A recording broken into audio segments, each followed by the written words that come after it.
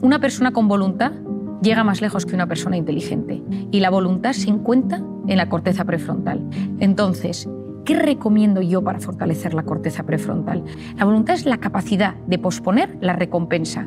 Y hoy en día estamos en un momento donde lo quiero todo y ahora, y quiero sentir ahora, y quiero la gratificación instantánea ahora. Es decir, en vez de que yo lo quiero todo ahora, lo que necesito, yo fortalezco mi voluntad poniéndome pequeños retos. Esta semana no como esto esta semana no voy a ver esta serie, solo voy a ver un capítulo, no voy a comprarme nada aquí, no me voy a meter más que tantos minutos en Instagram.